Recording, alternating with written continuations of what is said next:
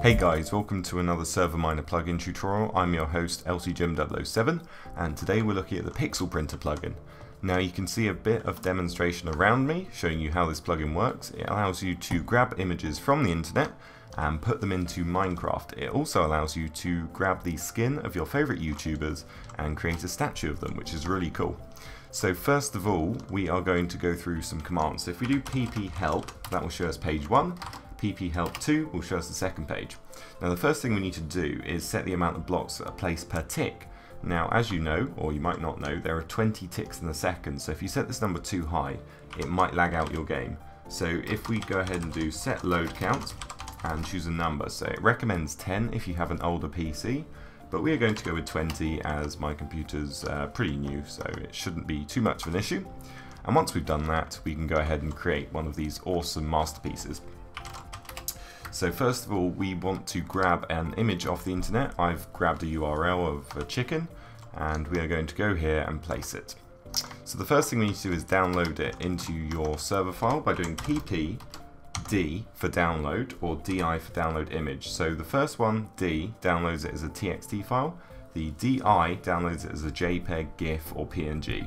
It doesn't matter which one you choose, you still get the same result. But we're going to download it as an image and we're going to call it pick1 and then paste in the URL after.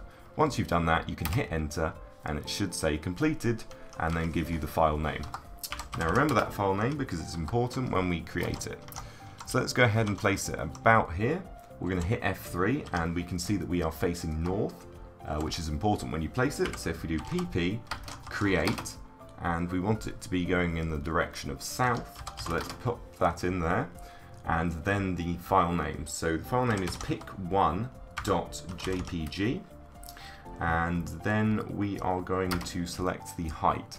It will automatically determine the width, but we can choose the height. So maybe 40, not too big, not too small, and it will say loading image and then done. So that is a very, very tiny image compared to this huge one over here.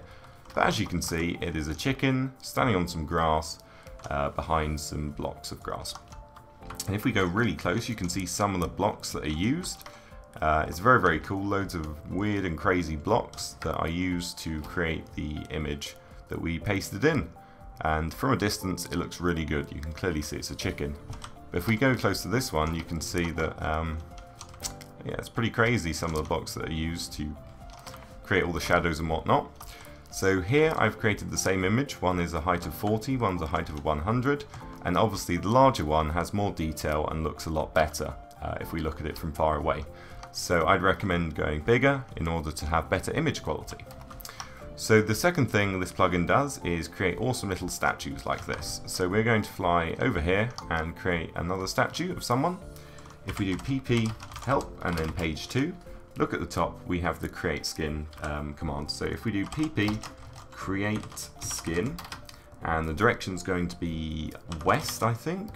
Hopefully it faces west, and the player name or UUID. So in that case, I put my name, but I've already created my skin, so we're going to go with Creeper, um, and hopefully that is a Creeper skin. So hit enter, you will get some uh, messages, and if we dig out of the skin, we will see what we have created. And there we are, we have imported the Creeper skin, um, from whoever owns that account has a really nice skin and that is how you do it, like so. Very easy. So there's a few more commands that I can show you. There's the pp list command. This will list all of your images that you have so you can use them again. And obviously there's the pp delete command, which um, is very straightforward. You just delete whichever one you don't want, such as t1.gif. Now GIFs are not currently fully supported. I've uh, tried to create one here, but I haven't had much luck. So hopefully the developer sorts that out very soon and then you can have GIFs on your server as well. So that is everything in game. So here we are in the Pixel Printer folder and as you can see there is a config.yml and two folders. Now if we go into the custom textures this is pretty awesome. So it allows for server-wide resource pack support which increases the accuracy of the pictures. So the way to do this, if I select all these and delete them, uh, go into your resource pack and uh, pick one. So I was using the Misa's Realistic.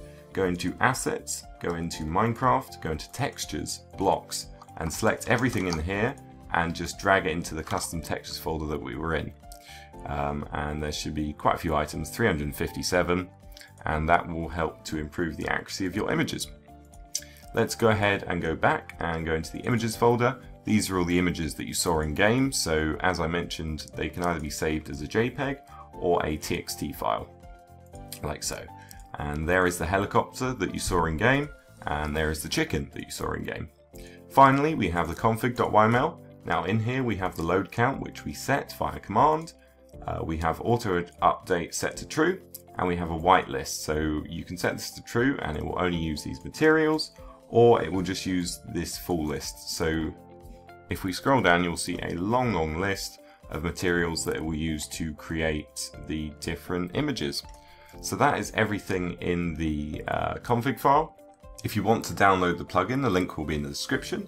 If you want the server to host it on, check out serverminer.com for the best and cheapest servers around. And if you want to check me out, my link will be in the description as well. But that is it for me for this week. Subscribe, like, comment, and I'll see you next time.